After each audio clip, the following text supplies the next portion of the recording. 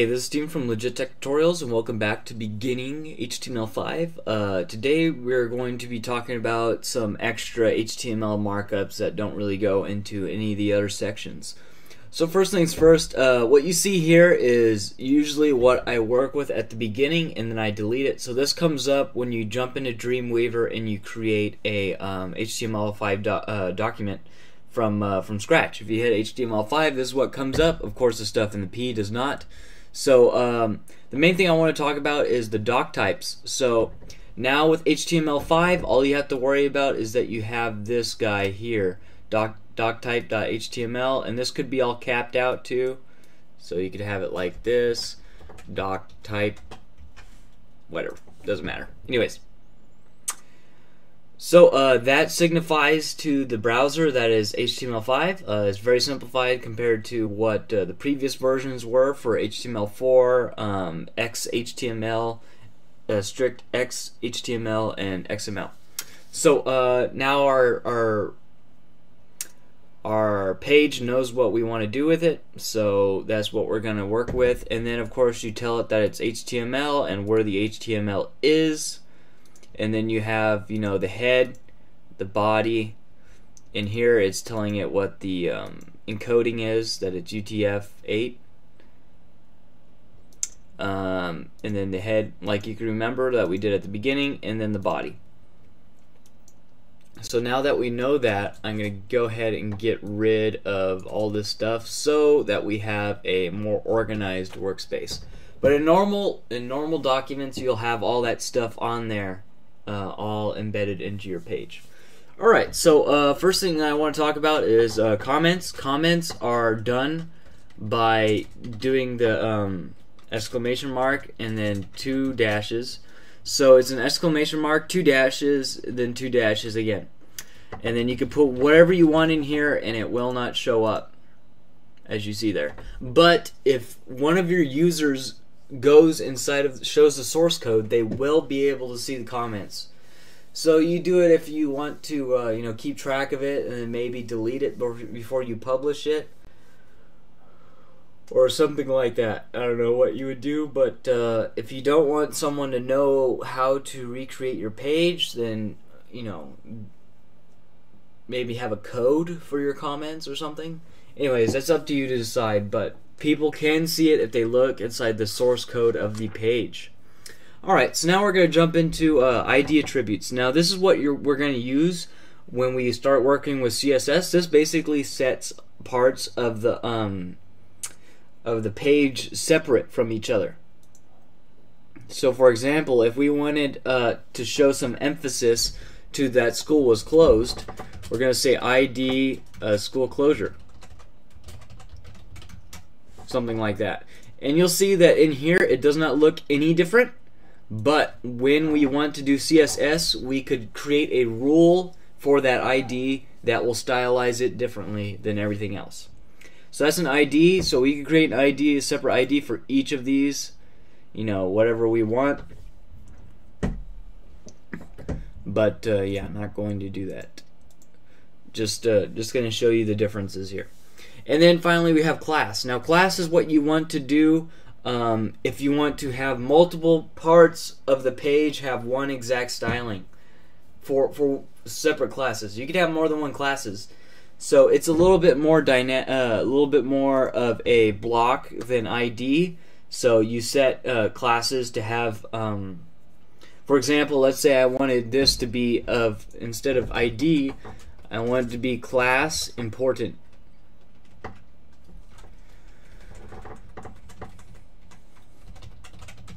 So now whenever I go and do my CSS, I could uh, actually my my HTML, and then I'm about to go and do my CSS. I could just set everything that I want to be inside that class to class important. So now all of these that I set to class will create will um, have that rule attached to it inside CSS.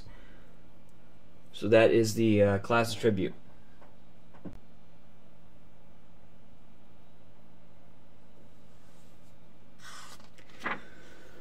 Alrighty. And then here in the in the reference book, it's talking about block and inline elements. Those are basically the ones that you see that start on a new line. So you see here P starts on a new line, um, unordered list, ordered list, um, header one, header two, header three, whatever. Um, those start on a new line. So those are called block elements. And then we have inline elements, which basically are everything that don't do that. So, for example, setting something uh, bold, italicized, uh, emphasis, and uh, the image. Those will not push it into a new uh, sentence or paragraph or whatever you want to call it. And then we have uh, um, the division. Oopsies. So division is what you'll see a lot on um, on other people's code, other people's website uh, styling. So this is basically what we're doing here is we're setting apart a separate um, entity inside of um, our page. So we're saying that you basically use division to divide up your page. So you're saying like, okay, this is the header, this is uh, main content, this is, um, you know, I don't know, images, this and that. So what you do is you start with a division, and then you could give that ID. So also the main part is to break up your um, your content. and Another thing is to set a certain styling for that whole division. So here you see that we have an ID there. So that sets that same ID for everything inside the division, unless we set that separately. So that will create a um, a whole styling for that whole division. So we want to have, for example, it's a paragraph of text. We want that to be a division and style that all exactly the same. All right, another one is uh, is called span. And span is basically what you use if you don't want to push something onto a new line by division ID or a class. So, for example, um, if let's say so let's say I don't want the so inside of this uh, class. So you say span this. Uh, you say um, I don't want it inside the whole entire class. So we're going to say span class um, school, for example. So now this so is going to be inside this class, and uh, this this piece here is going to be inside the um, inside the new class. And we need to close the span. Yeah. So that way we could style in, uh, certain stuff inside these sentences with a um, and you see here that's the division that you see. So it's got a red block block around it saying that if you set a rule it will do that whole thing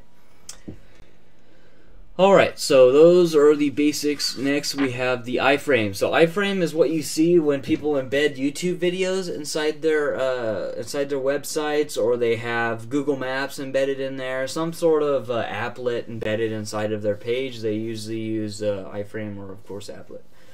So let's go ahead and take a look at that applet. I'm going to make sure that we don't need any more of that P stuff. I don't think we do. Okay, so let's go ahead and get rid of all this here. Let me go ahead and wipe that. Alright, so let's go ahead and start with an iframe. So of course, as you guessed, it starts with iframe, and then we're going to do the width. So here in my book, it says 450.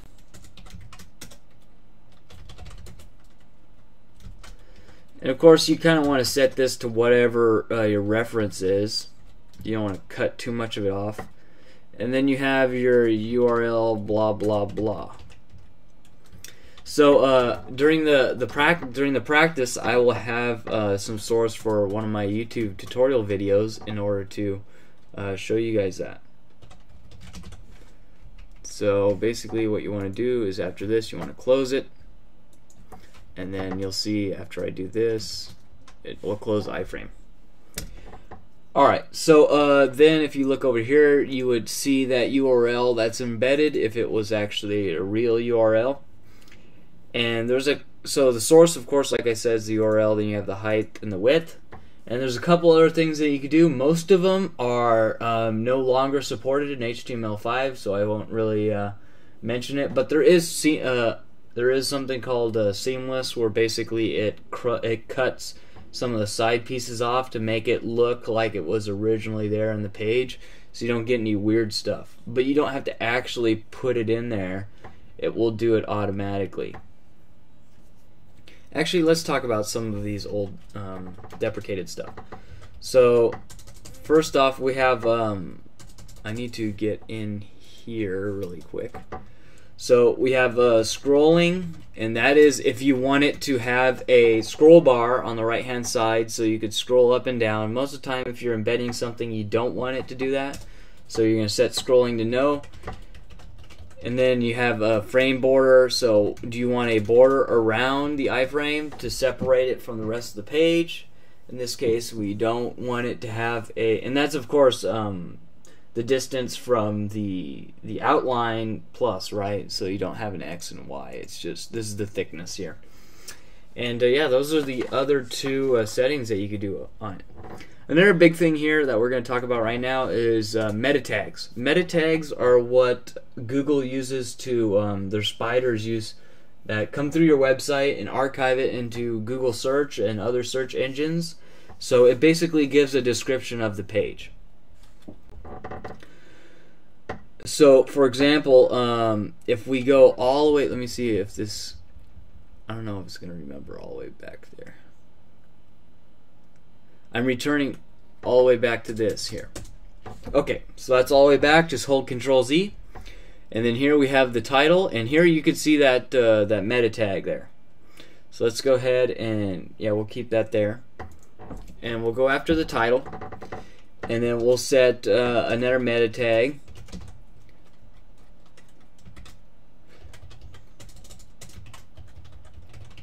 Make sure that you get these meta tags right. It will break your it'll break your website if you don't. So this is um, HTML5 tutorial um, markup. Okay. And then we're going to go ahead and do a forward slash. So now we got that meta tag in there, and it's not going to show up. It's only going to show up if you look um, to the spiders, to the things that are the things that are looking at the code, um, the source code of your HTML5 page, are going to be able to see it. So let's go ahead and space this stuff out and take spaces out of stuff that we don't need a space in. Okay.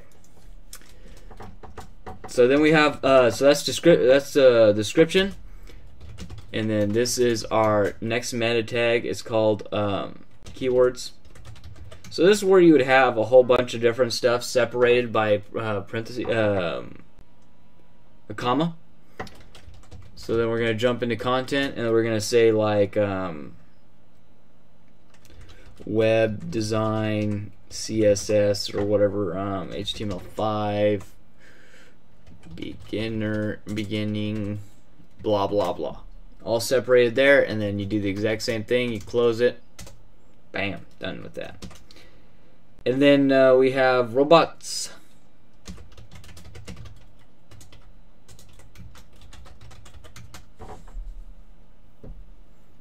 So it says here this indicates whether search engines should add this page to their search results or not. A value of no index can be used if this page should not be added. A value of no follow can be used if search engines should add this page to the results, but not any pages that link to it. So let's uh, go ahead and uh, not do any of that because we want it to add the page. Yeah. So we wanted to add the page. So forget about the robots. I mean, you you want a you want a engine, you want a search engine to pick up your page. All right. So then you have the um,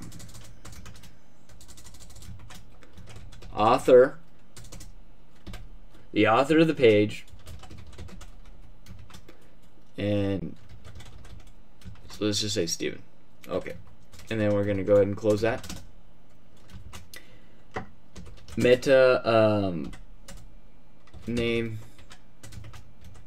params. Oh, sorry, parag. Uh, this prevents the browser from caching the page that is storing locally. Um, so basically, I would probably keep this as um, keep this away.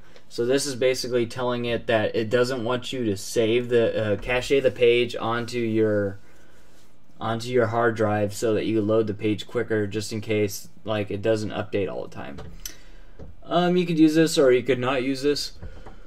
Let's go ahead and show you the content content equals no cache. So that would be if you don't want it to actually cache the page.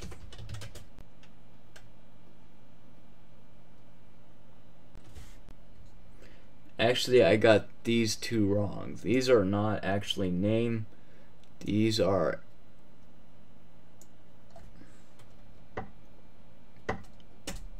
HTTP equivalent equals author. So that's HTTP equivalent. Uh, oops, that's supposed to be a dash. So that's dash equivalent um, auth equals author, and then the content. Okay. So then we're gonna go ahead and cut, copy this paste this here. There you go. So that's that's how you set it up right there. And uh, finally, the very last one. HTTP equivalent equals expires. And then when this content expires,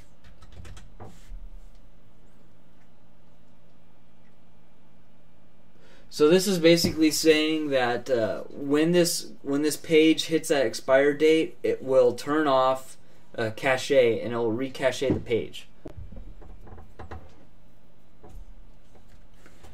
And uh, you can only specify it in certain um, setups. So we're gonna say Friday.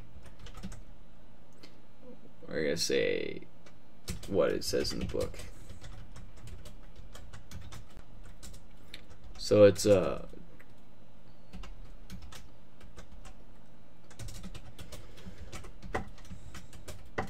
So there's the there's the uh, setup there. And I totally screwed up typing in Friday. Oops. Okay, so Friday 04 April 2014 235959 um general I don't know what that is. I don't know the time time zones too much. Okay. So we're going to move on to the final portion of this lesson here and that is the escape characters. Now So basically, what they do is that if you want to use that to UTF-8 um, as a set up to do special characters that are used. For example, let's say you want to do a less than sign. Obviously, a less than sign won't work because it already has a let. Uh, it's a it's a keyword. It's already defined. So you could do certain things to um, create that type of thing. Let's go ahead and cut this back again. So here we have. Um, so you do a certain type so we say and, and there you see all of the things come up in Dreamweaver. You see all the escape characters. So here we want to do LT, and then uh, colon, semicolon, and there you have that sign. And then let's, so there's a whole bunch of ones. I'm not going to go over all of them, but if you're using a smart, um, editor like this, then uh, you could you could just enter in this at sign and look at every single one that you want and it'll show you everything that you could do. And you can see some are missing there. Doesn't actually have some of them. So let's say we want to do a pound sign. We want to do, oops. There you go. It's a euro. All right, so uh, that's basically it. You can look up all those uh, online, all the escape characters, but you, they basically all start with the uh, and sign. Some of them have pound, etc., etc. After that, actually, th- some of them have names. So there's names, and then there's a number. So let me do one more. So let's go ahead and show you the other way of writing the. Oops other way of writing that uh, less than sign. So you could do P here, and then you could do at sign. Where is that pound character? Pound. There it is. Pound 60. And that is its. You. I guess that would be its. Um, what is it? Hex. That should be what it is. An ASCII. Sorry, an ASCII. Or UTF-8. I guess. Whatever. I don't know what exactly this here is in. Yeah. So you can find that online, but you see here it has two examples, and I'll do you one more example for uh, the the euro sign there. So you're gonna want to do the and sign. There it is. And sign, and then the pound sign. Where's the pound sign? There it is. Pound sign. What are we at? One six three and then you 163 and there there you go so uh, you can look at all those online? And yeah. So this has been Steven from Legit Tech Tutorials. I thank you for watching this video. If you like this video please subscribe for more videos like it in this series and other series as well. Um, if you have any questions email me. The link to the book is in the description. And I'll see you guys in the next video. Thanks for watching. Take it easy. Peace